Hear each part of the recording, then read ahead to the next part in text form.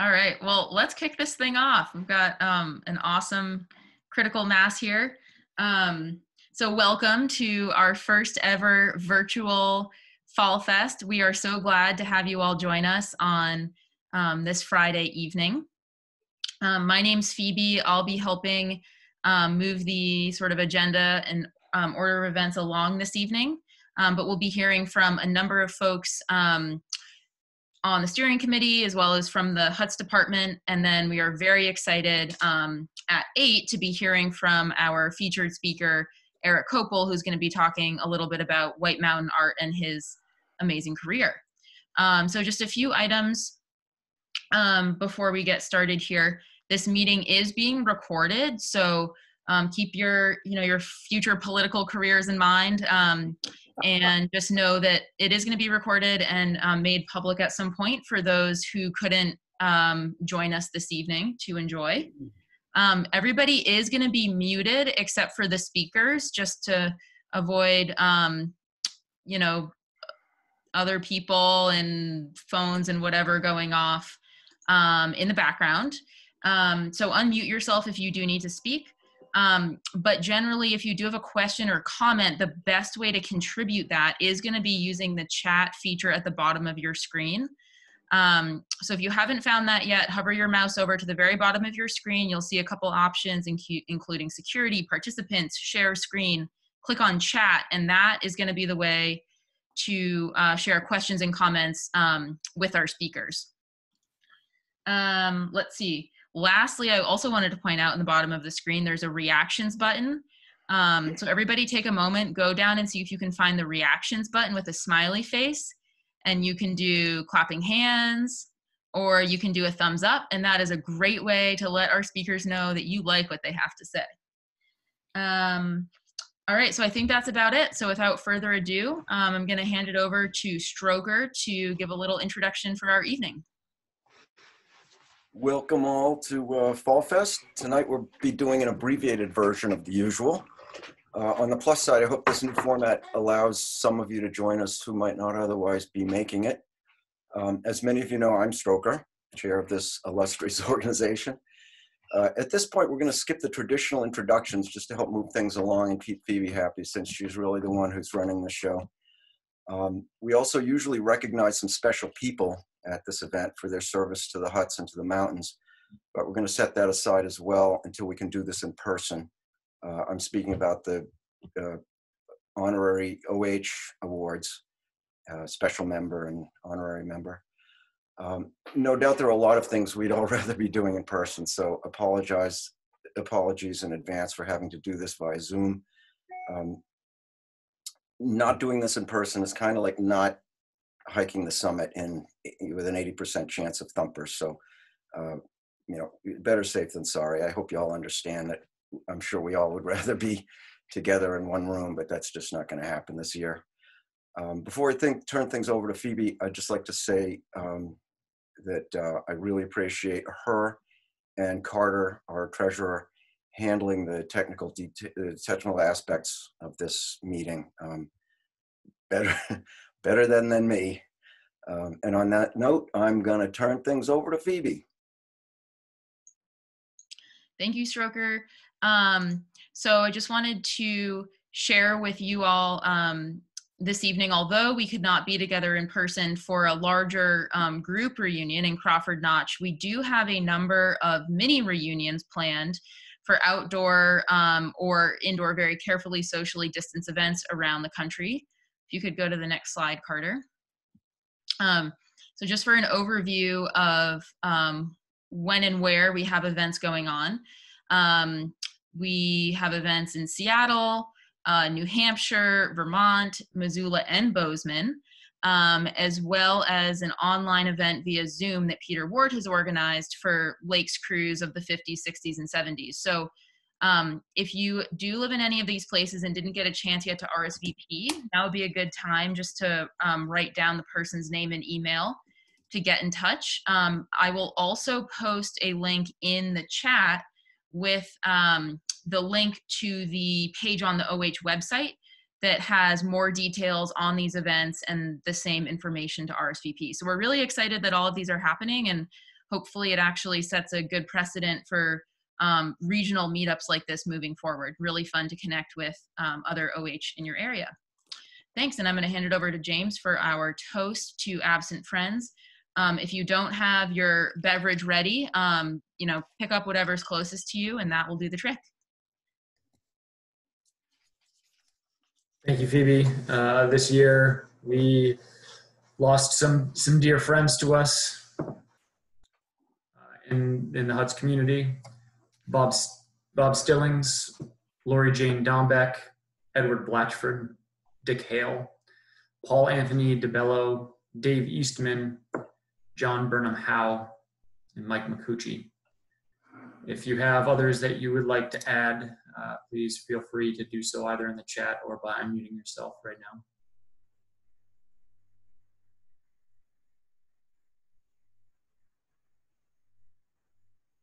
I'd also like to take a moment uh, within this uh, to recognize the loss that all of us have felt in one way or another during the pandemic.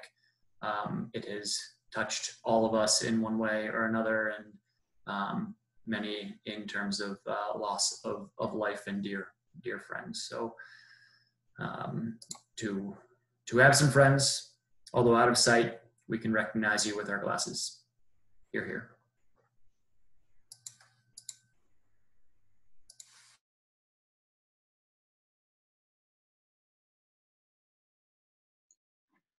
Thank you, James. Um, next up, we have Emily Griffin with our HUTS update. Good evening, everyone. Uh, it's nice to see you all via Zoom tonight. And I echo everyone's thoughts so far. While I wish we were all together this evening, it does, of course, make sense to meet virtually. So thank you all for being here. I'm here to provide a pretty brief update on how the huts were running this past summer season. As most of you know, it was a pretty uh, different looking season for us in the huts this summer looked different in some ways, but also in other ways looked pretty similar. Um, we did close all eight huts to overnight guests for the first time in a long time. That being said, we were quite lucky to staff them with some incredible caretakers and keep them open as a public resource. Uh, we're going to go through some photos on this slide here uh, and just kind of take a look at what the summer looked like in all of its weird ways. The uh, caretakers served as stewards in the backcountry, seen here on the floating dock at Lonesome Lake. Um, but in all seriousness, they provided crucial trail and safety advice to countless day hikers seeking solace and enjoyment outside. This summer seemed as though we saw record numbers of folks recreating on the National Forest. Um, looking to get outside and stretch their legs after months of staying indoors and quarantining. Um, so a lot of these caretakers provided exceptional trail advice and information, um, providing weather and other resources to ensure that folks were hiking safely. And most of them, while had experience before, these a lot of these hikers were hiking in the whites for the first time, if not just hiking for the first time ever. So the caretakers were really, really incredible and did some awesome work um, outside of making incredible crosswords to share on truck trip on Thursdays. Um, but also in the sense of providing wonderful stewardship in the backcountry. Um, while the season looked different, there were a lot of magic brought into the hills. There's a lot of scrubbing, mask wearing. I believe on these slides we'll see Jeeves wearing a mask. Uh, so everyone was quite safe out there. Co-caretakers had a routine of scrubbing the hut uh, every two hours and again providing all of the kind of comforts and solace in the backcountry to day hikers all around. Moving into the winter the huts are all now shuttered. Um, we are looking forward to next year. We're hopeful for some sense of normal with cakers slipping and doors open to all. Um, but overall the season went as well as it could and we're really happy to say that there was still some magic brought to the hills that we all love and there are a few more photos left. There are some weddings, which was quite exciting at Lonesome. And this is Lonesome and Zealand boarded up for the first time in a really long time for the winter. So moving ahead, we look forward to these huts being filled with the guests that we know and love, uh, filled with some BFDs, hopefully from a safe and appropriate distance, uh, and doors open to all who want to spend time in these hills. I'm also here to provide an update on the diversity, equity, and inclusion work that the AMC is doing on the whole as an organization. Um, this past year, the AMC made a public commitment to work towards working towards a more diverse and inclusive in organization for all um, back in the spring. Some of those efforts in, are involving a lot of staff members right now, both full time and seasonal. There was a survey that was sent out to gauge uh, organizational health and understand how staff perceive the organization right now. The AMC has also taken measures such as working with the Alpine Five to rename some climbing routes across the United States um, that are either racist, misogynist, or overall problematic. The organization has also been hosting virtual events with intention to lift marginalized voices in the outdoor community. And it has also hired a diversity consultant to help with this very important work. Um, another big initiative for the AMC on the whole has been board engagement with DEI efforts. Working closely with the boards at large on DEI is a major focus for the AMC right now, and then also moving into the year 2021. In terms of DEI work in the Huts world, we continue to work on making the Huts more accessible and a welcoming space for all. Um, a big personal focus of mine this winter will be focusing on diversity efforts in hiring um, and hiring practices moving forward as a community within the AMC. So overall, uh, an exciting and weird year for us in the Huts department. I am now going to turn it over to EB, who will provide a much more accurate real Huts update. Hello, everyone. I think um, Carter will be showing a little video slideshow I made of some more photos from this season because I know that's what everyone really just wants to look at. And uh, behind that, yeah, Carter, you can go ahead. I'll I'll give a little speech. I'll start when it goes. Okay. By the end of the summer, the phrase in a normal year had become as routine as directions to the bathroom. We conjured images of a bustling dining room and naturalist talks by the lakes to explain why we were there to passerbys. Folks would also explain that they had had reservations for this year, and I would commiserate by saying I'd have loved to bake them fresh bread. The truly bittersweet moments, though, were meeting two wonderful women who would have been first years on my crew. It gave me a sense of deja vu, of remembering something that had never happened, but that my five prior seasons allowed me to visualize in such detail it felt real. Of course, this year wasn't a normal year, but what do hut kids do best? We adapt. How many of you have had to remake a dish at the last moment or thaw a frozen pipe with hot towels? It's a basic element of the job, and so we adapted on a massive scale. The huts were open to day traffic. We had water spigots installed outside and cleaned the bathrooms a lot. We sold burritos and baked goods and OTC snacks. And when we ran out of things, we sold tuna sandwiches and chocolate mousse and pretzels and peanut butter squares. Instead of hanging out at the OH cabin together, we started a caretaker group chat that regularly received videos of Eric and Kyler over at Galehead doing scooter tricks. It wasn't a normal year, but each morning as I tied the blue apron around my waist or looked up at Mount Washington, I felt the same sense of gratitude that's universal among Hut kids. I felt grateful to work in the mountains for one more summer. Despite the massive switch in routine, there were still beautiful and exciting moments. The three of us at Lakes would eat dinner together in the quiet dining room, playing cards and watching the sunset. We were also at the hut when Hurricane Isaias came through and watched screens fly out of windows, signs fly off the walls of the hut, and water seep in through through the kitchen. Um, the peak gust recorded by the observatory that day was 147 miles per hour. We all killed way too many mice for comfort this summer and slowly gave into the reality that the chipmunks were just taking over and moving in. We still packed in all kinds of weather, though the wrecks were a little lighter, and still had immensely busy sunny Saturdays. Without getting too sentimental, I'll note that this was likely my last season in the huts and not exactly how I envisioned it. But one thing that even a global pandemic can't break is the strength of the hut community. Those of us who were COVID caretakers now have more stories to pass on, and those stories bind us closer together. And now, to end on a lighter note.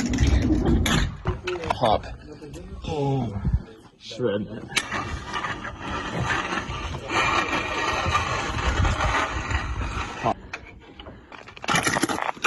Let's go! We got a lot of these in our group chat this summer, and it certainly made it fun to watch. Thank you.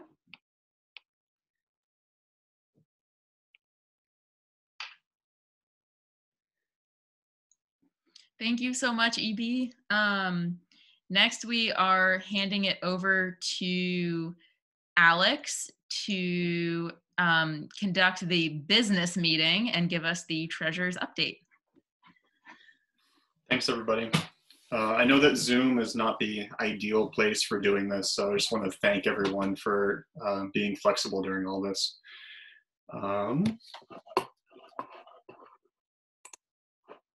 so I'd be remiss if I didn't tell everyone that some money came in and some money came out, and we still have money left over. Um, this has been true for many years. It hasn't changed this year. Um, but with that being said, uh, there are some important numbers I do want to talk about. So, um, first and foremost, income and expenses. Uh, our total income this year was 17,734.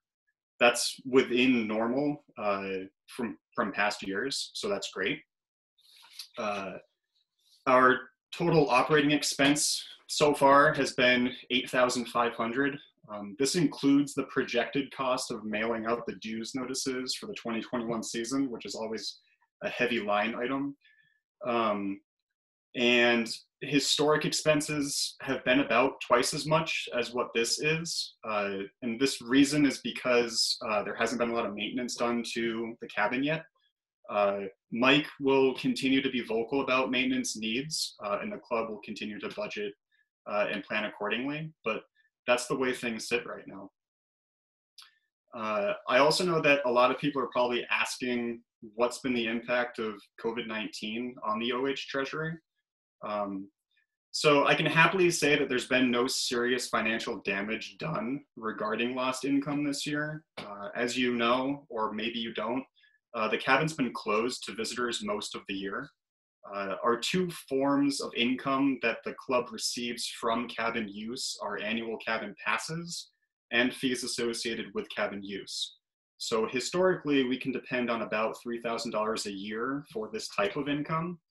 Uh, and this year we earned uh, about 1,160.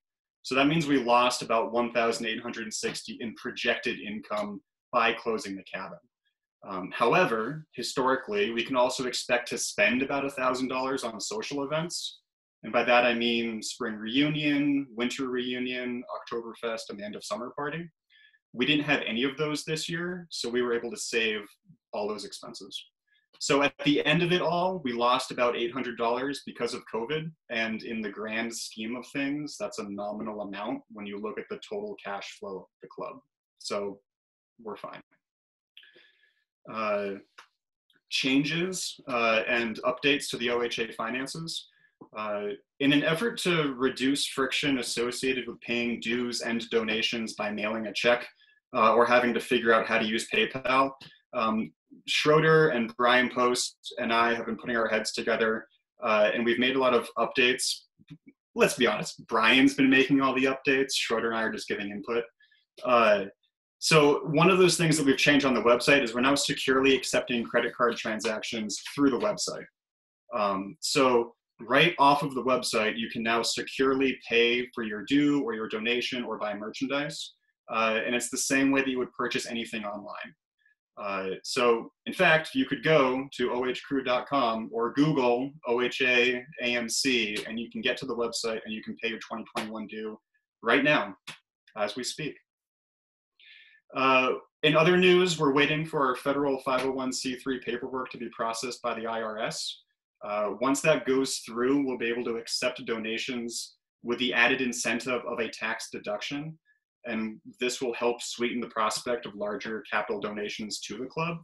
It's a long time coming, uh, and that's in the works right now. And then lastly, we have a new category of membership to choose from. Starting this year, we're offering a lifetime membership opportunity for $600.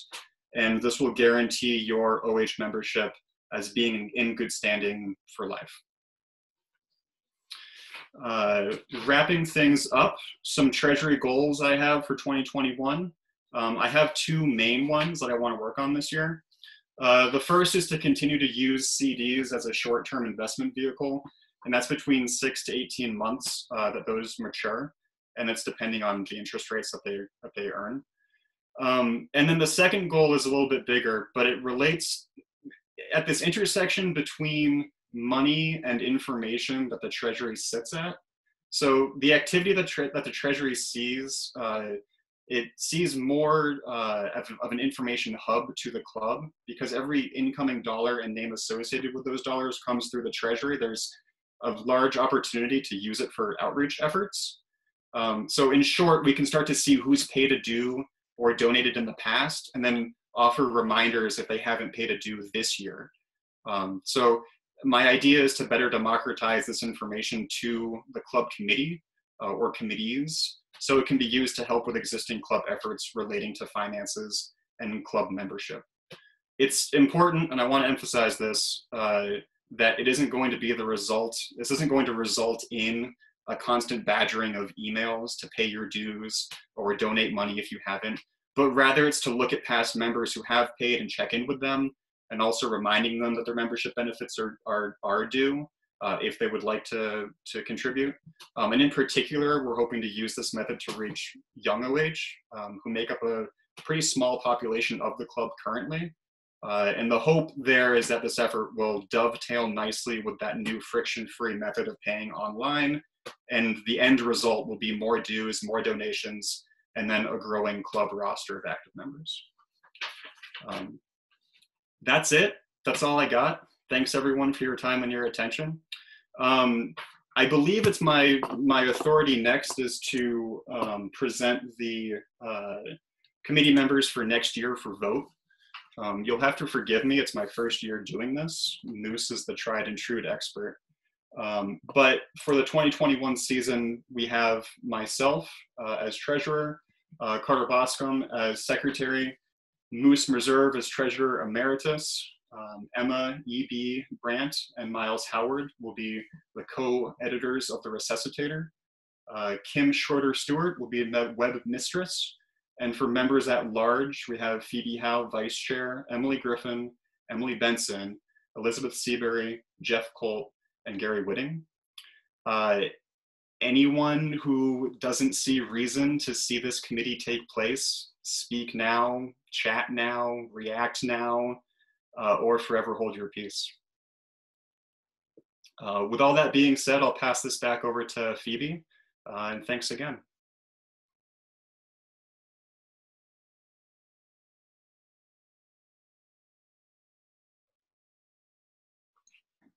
Great, thank you so much, Alex. Um, we all appreciate your work with the Treasury and um, steering the ship.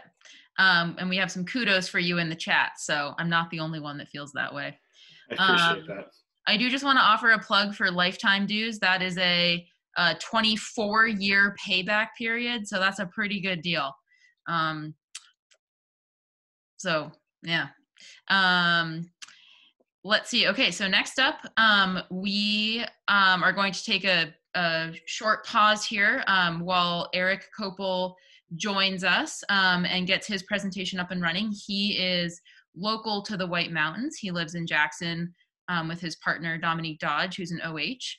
And he is here with us tonight to talk about White Mountain art in general, as well as, as, well as share details on his career. Um, so, Eric, if you are with us, um, please go ahead and um, unmute yourself and um, okay get your PowerPoint up and running. And then actually the last thing I'll say, Eric, before we hand it off to you is um, Eric is gonna take questions along the way. So if you do wanna ask him questions, and please do, um, just put those in the chat and he'll keep an eye on it and I'll keep an eye on it as well to make sure that we get to your questions. All right, so take it away, Eric. Hi, everybody. Sorry, just trying to get it so I can see the chat at the same time as the thing. There we go. Um, so I'm an artist. Um, I've probably met some of you guys um, working here in Jackson, New Hampshire, and um, some things that I've started to become known for are um, one, reviving 19th century um, methods of landscape painting. Like there was a lot of uh, landscape painting in the United States in the 19th century that was in a very realistic style that uh, celebrated the beauty of the natural scenery here. And so I've been trying to revive those methods. And um, more particularly, I've been trying to revive that movement right here in the White Mountains. Um, and so um, here, this first slide is um, a painting of Mount Washington um, that was sketched. Uh, I made this painting and it was sketched um, from uh, up on the tin mine in Jackson. I just opened up and I changed the land a little bit. Um, but this painting is in the Jackson Historical Society. Um, and that's um, just for those of you who don't know, a great place to look at White Mountain art if this subject is of interest to you. Um, and so something else, if anybody has any questions about anything, you can feel free to ask as we go along. Um, and uh, yeah, so there's that painting. Now let me see, this isn't moving right. Okay, this is a painting that um, is of the Hudson Valley, something that, um, so American landscape painting originated in the Hudson Valley. Um, I had this big uh, six foot painting, which I did for Marist College. Um, and that's that. Um, so this painting, um, you guys probably know some of the mythology behind. So this this is um, a painting that I did for the Jackson Historical Society. That's um, of the Willey slide uh, in Crawford Notch, um, which uh, was a big event that brought tourism to the White Mountains um, long ago. Um, and so it was an interesting project for me because I was combining um, like actual scenery that's there. Like um, we have the um, the cliffs on the back of Mount Willard and Mount Willey to the side, and then where the Saco goes down through.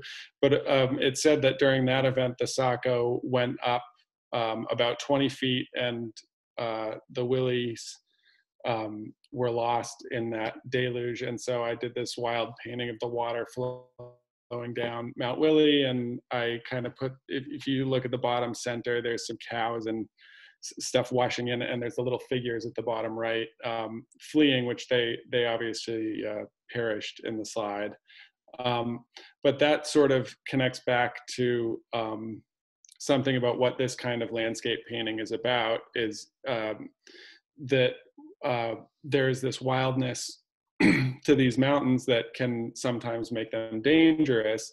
And um, that feeling of um, sort of fear of nature being more powerful than you are is is part of why we love this type of landscape um, so much. So um, that's that one um, and this is a big painting um, that I did for the Jackson Historical Society. Again, um, this one is actually really large. It's like 11 and a half feet by six and a half feet. And um, it depicts Mount Adams uh, from the base of the auto road. And this site is open, so if if you're interested, you can go in there. It's usually pretty quiet. You can wear a mask, and um, you can see the painting in person. So I just put this slide in for the scale of the project because it's it's something that uh, people might enjoy seeing. And um, what I was depicting here was um, I was imagining the time when that area by the auto road was first cleared um, and how excited it must have been because as we all know this area um, without the influence of humans cutting trees um, is just so filled in that it would be really hard to see anything um, from except from like ledges and on the top of the mountain. Um, and so I was imagining like, well, like what it must have been like when people first started cutting trees and opening up these big views and and how exciting that must have been. So there's something coming in do you have a piece of your artwork in salt in Gorham? Um, I don't think that I do, but I can't guarantee that nobody bought a painting and put it up in salt. so, um, but I'm I'm not aware of one that's there. Um, so, yeah, so I um, I cleared open the view for that to see, and then I'm sort of um, let me go on to the next one. There was a really cool unveiling of this. In the photos, it looks like it was only 10 people there, but it, actually the whole room was filled with people. Um, and they actually caught this. Uh, we did the veil drop thing, which was really fun. Um, and that was October of last year. Yeah, so before um, before the whole mask thing. Um, and there's some details. One of the one of the things that I really liked um, when I was bringing this painting together was the little little figure that's looking out into this scene in the lower left panel there. Um, uh, one of the last things I did for the picture was to raise his arm up um, to in a sort of like there's a little other figure out there that he could be waving to, but I also sort of think of it as as a salute um, to the beauty of the landscape, and I saw sort of thought it made a nice positive message um, in the painting. So anyway, that's there. If anybody wants to go see it, that's in uh, 23 Black Mountain Road in Jackson at the Historical Society, the old town hall. Um, and so interestingly enough, I like when I do a lecture to just talk about where the kind of painting that I do comes from. And so this is um, a piece of ancient artwork from Pompeii, and it's one of like the earliest landscape paintings. So um, I just put that in there. I think it's really interesting that like there's this sort of um, ancient way of drawing, but they still had all these things, the figures in proportion to the land and like the beautiful color harmonies of nature and sort of exciting story within the painting, not just showing you exactly what's there. And that that trended into the renaissance of paintings like this. Um, I put this one in because um, it's it's one of the early landscape paintings of the Renaissance, but also because it's it's one of the first paintings that really personifies the landscape with human human sentiments, which is really part of um, the poetry of that art form. So like the storm and the lightning is kind of symbolic of something that's going on there in this relationship with this angry woman situation. Anyway, this is also one of the first beautiful. Uh, um, this is a Carracci painting, and this is a form of landscape painting that developed long before American painting, but what is considered sort of a classical style of landscape painting. So we have an Italianate place, we have a sort of religious Catholic storyline, and then architecture, and it's really all about the sort of pastoral relationship with human beings and the land. And that it doesn't it may not look revolutionary to us here in this time but in that time landscape or um, paintings in general were all about big figures doing things and the figures filled the whole picture but in this painting um, the story is told by the landscape not um, not just by the figures. So it was kind of a revolutionary thing. That developed into this where we can see like Claude Lorrain, we're talking about like 16th century now. Um, and, and, suddenly you have beautiful atmosphere and light and things are starting to get very naturalistic and even more about landscape and even less about the sort of little figure story going on. And that's because Claude was, sorry for the bad slide there, but um, Claude Lorrain was going out and actually drawing from nature a lot, very specifically. There was a similar Dutch school that was doing the same thing. We're getting the 17th century, John Constable in England, drawing very, very closely and accurately from nature, studying moving things before photography and like really looking at clouds and how they work and making paintings like this that have these beautiful, incredibly gorgeous rendered moving skies that um, the atmosphere in the picture and the the story of of um, light and color in the air is really just telling the story of the painting and the idea that the landscape sort of reflects um, the, the poetic feelings that humans have towards nature, not just a sort of optical or photographic depiction of nature. Um, so there's that. Um, and then this is like really kind of over the top Turner painting of a Greek myth. Um, well, this is from the Odyssey. Everybody knows that story. So this is the Cyclops up there. He's been blinded, and then the, the ships are going away. We all read that one, I bet. Um, yeah, so any questions? Because I am used to having an audience that I kind of feed off of when I do lectures, and I can't see you guys' faces, so I don't know if this feels boring or not.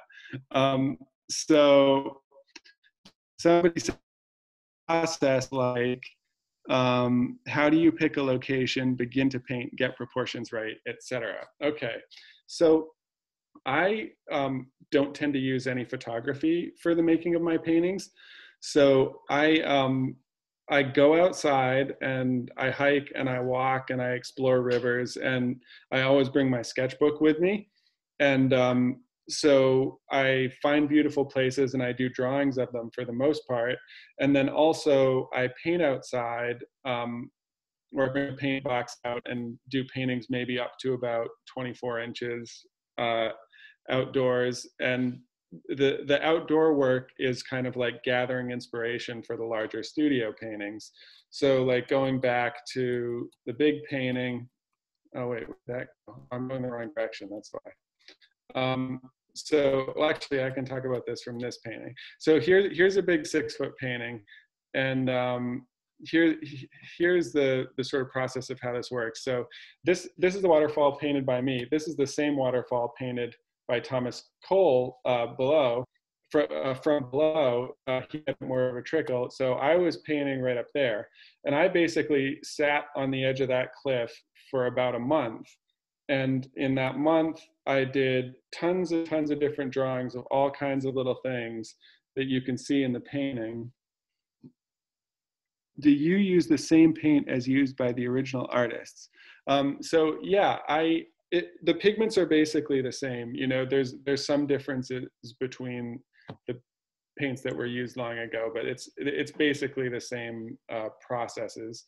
Um, but get, getting back to the sort of intellectual aspect of the prospect or, or of, of the project, like if you look at this um, drawing in the upper left of this screen, and then I go back to the painting that used it, you can see that that was very closely realized in the top of that waterfall.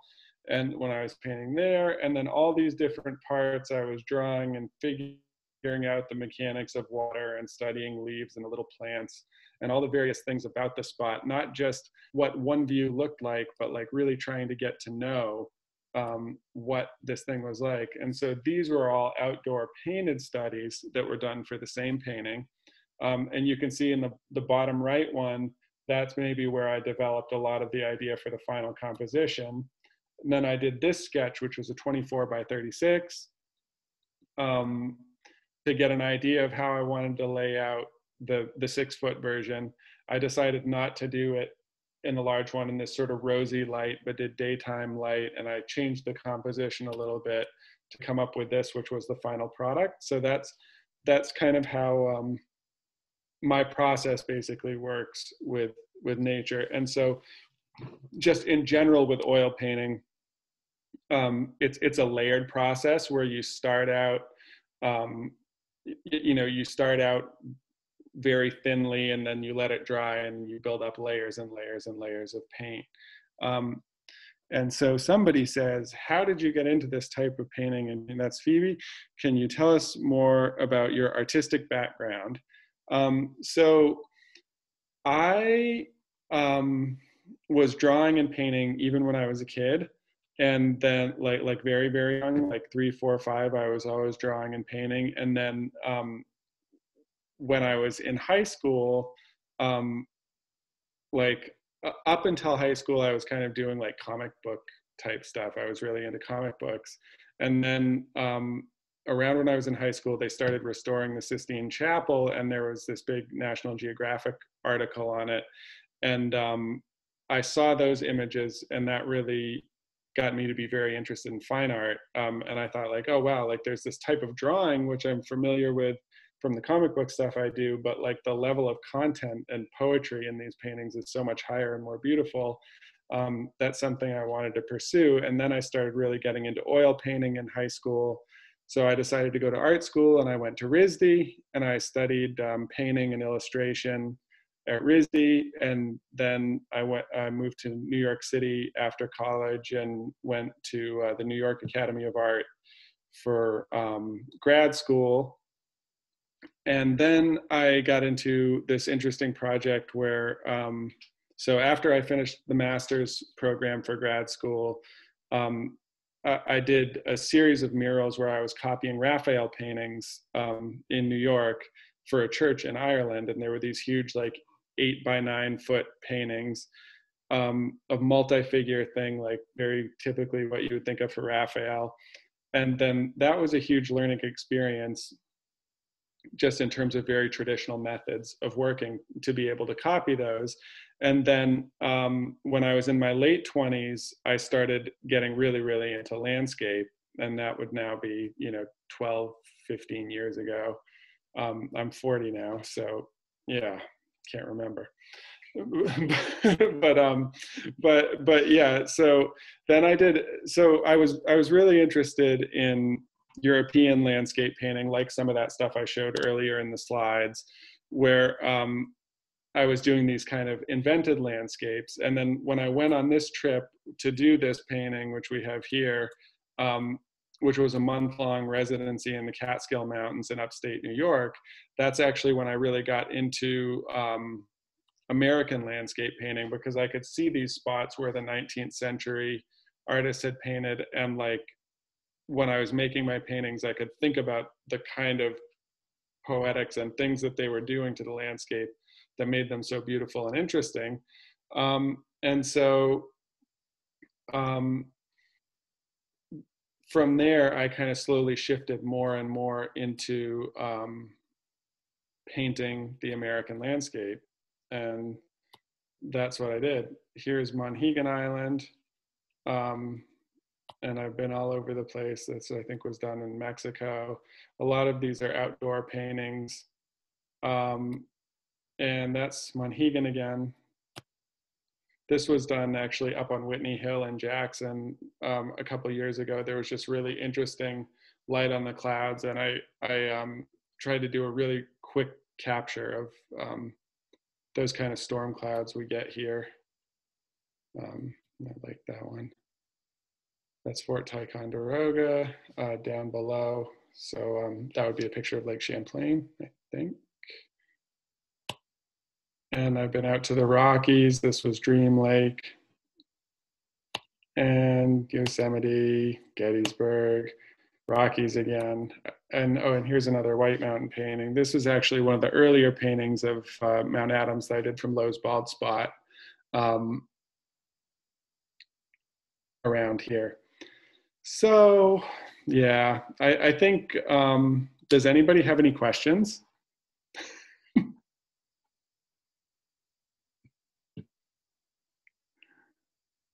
Well, that's my last slide, folks. How long do these take? So um, the the painting process, um, I I like when I do a commission painting, I usually allow between three months and 18 months, depending on the size of the project. So um, um, yeah, uh, it, the painting has to dry several times though so it's like i work on many many paintings at once and then they all kind of come together eventually. So have you ever put a hut in a painting? I have not put a hut in a painting yet but that is a good idea. Okay so do you think your paintings have an environmental message at all since you're painting an earlier or less damaged landscape? Um, so Yes, I, I think actually that representing the landscape has an inherent environmental message. And so, interestingly enough, um, the Hudson River School artists in the 19th century, and that includes the artists who painted in the White Mountains in the 19th century, um, were, were part of the early conservation movement at the end of the 19th century. So, a big thing that happened was um, a lot of artists were going up to paint Niagara Falls, and then like Niagara Falls just became like Coney Island all of a sudden. Like all these sort of entrepreneurs came in, and there were you, you know rides and all this stuff um, up up in in Niagara Falls, and the artists were kind of like, well, this is ruined, and you, you know they were restoring it to an original, more original way when they were painting it, and like trying to capture a beauty that was kind of no longer there. But when people saw what happened to Niagara Falls, is why they when they went out west, they were trying to preserve um, places like Yosemite and other things with the early national park movement. So I saw something here about. Um, Bierstadt in the whites and elsewhere now. So I wanted to show actually, um, oh shit, shoot. Um, I hit the wrong button, hold on. Um, now my mouse disappeared. This is bad. okay, okay, hold on, hold on. Okay, we're, we're back. Let me screen share that thing again. Um, I just want to show you um, somewhere in here. Do you see that now? Um, so yeah, Eric, we see Mount Washington among the clouds right now. Okay, okay, good. So I'm just getting to the side so I can click through and show you the Bierstadt painting um, that I put in here.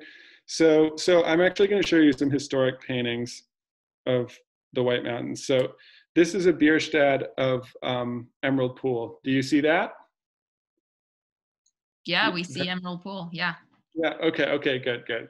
So, so that's a Bierstadt painting of Emerald Pool. He also did one of the moats and ledges. Now, this is a Bierstadt of uh, Mount Lafayette um, from I think around Sugar Hill. No, maybe low Lake Frank. What's I don't remember what town, but you can see Lafayette. You can see Eagle Cliff right there. This would of course be Cannon Mountain, and um, that so that's a Bierstadt. And then here's a Sanford Gifford painting of, of Mount Chocorua. You can see that he dramatically exaggerated the peak, but like you get the idea that that's the view from Route 16 over Chocorua Lake. Um, and, and then um, this is actually a very precise rendering um, of uh, Franconia Notch by Asher B. Durand from West Campton. This is like a six foot painting that's in um, the New York Historical Society, which is a very, very good museum.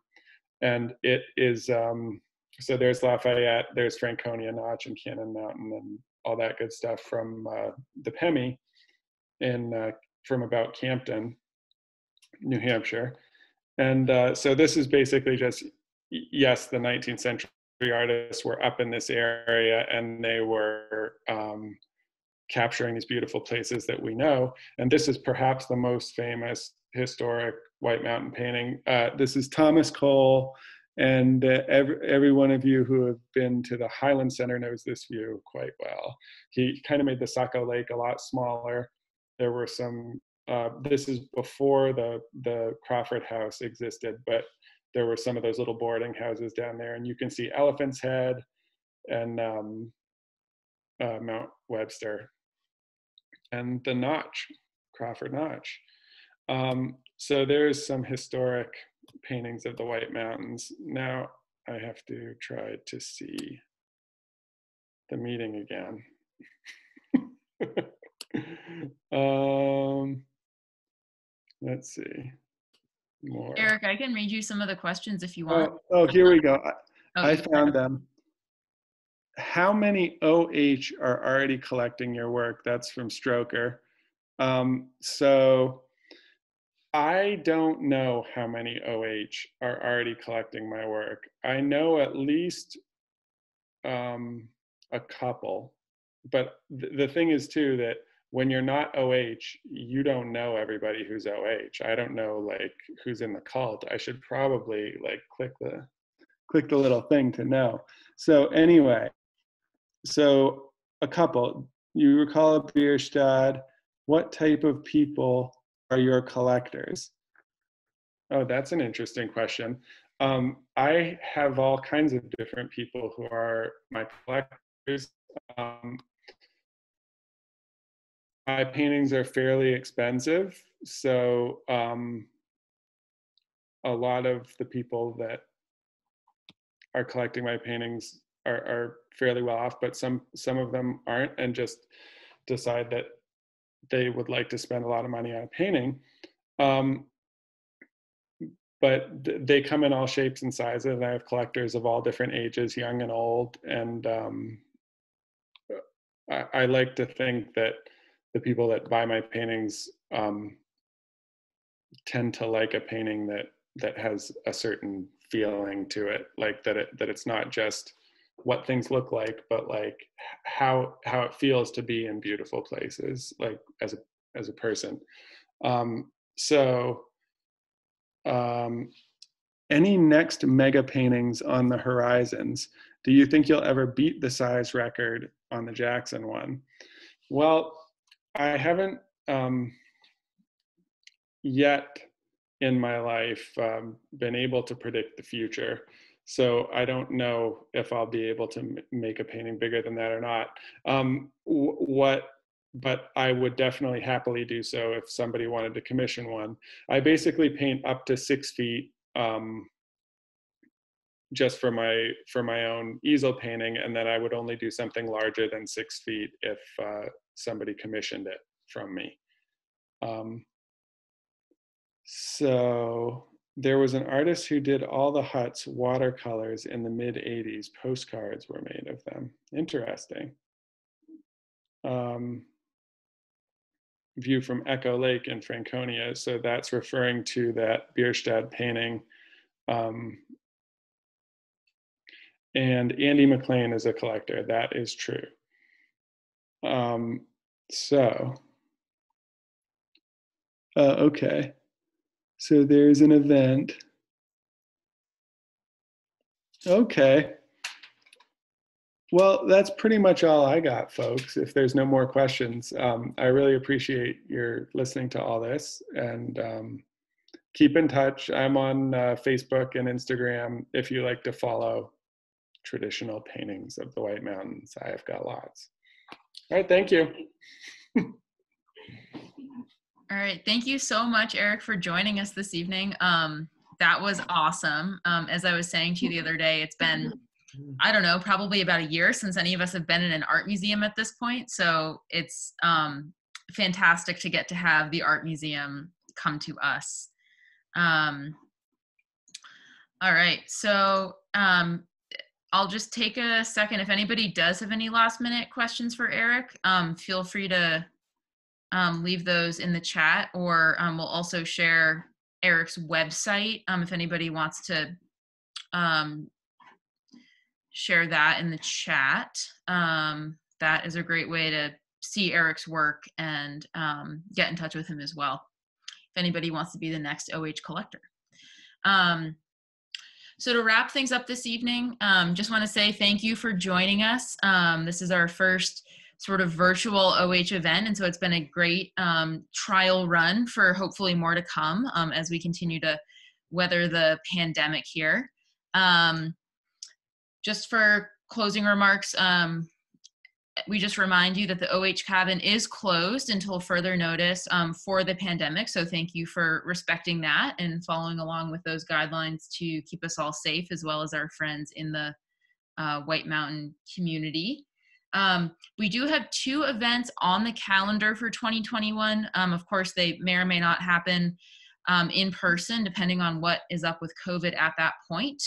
Um, but for your calendars, we do have a spring reunion um, planned at the OH cabin for May 15th, as well as next year's Fall Fest for November 6th. So again, May 15th and November 6th um, for your calendars, subject to change depending on what happens with COVID.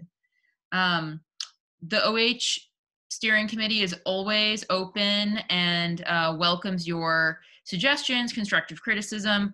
Uh, just the other day, we had a young OH write in suggesting that we host a virtual trivia night at some point. We love getting suggestions like that. Um, we love it even more when you also offer to help um, organize and host. So we welcome your input and your participation in uh, the OH community. Um, and creative ideas like that. What can we be doing during covid to bring folks together whether it's you know really regional kind of small scale in-person meetups or virtual events? Um, we love your ideas on how to bring folks together. I know Peter Ward has gotten, I think, 40 attendees, again, 40, 40 attendees for his um, Lakes 50s, 60s, 70s meetup on Zoom, which is super cool. So, as far as you have more suggestions um, like that, um, we would love to hear them. Um, our next steering committee meeting is on December 15th on Zoom. Um, we would welcome anybody who'd like to listen in, find out what the steering committee is up to, and offer any input. Um, and we do keep steering committee um, agendas and notices as well as minutes after the meeting on Facebook as well as on our website. Um, so without further ado, I think that is the end of our um, meeting this evening. Um, we will um, leave the meeting open for a little bit if anybody wants to um, ask any questions, throw anything in the chat. Um, but you're also welcome if you'd like to use this time to um, share anything with the group. You're welcome to go ahead and do that. So thank you all for joining and um, enjoy the rest of your evening.